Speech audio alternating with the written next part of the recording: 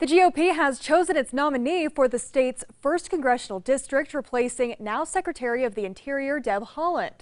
The Republican Party of New Mexico's State Central Committee selected State Senator Mark Moores today out of seven candidates for the seat in the House of Representatives.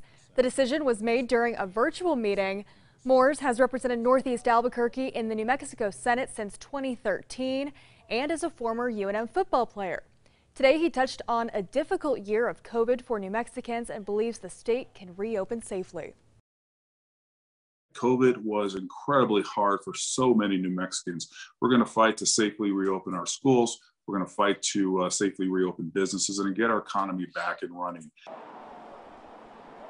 Democrats are hosting a forum with their candidates tomorrow and expect to make their selection on Tuesday. The seat will be decided in a special election this summer. It has not been held by a Republican in more than a decade.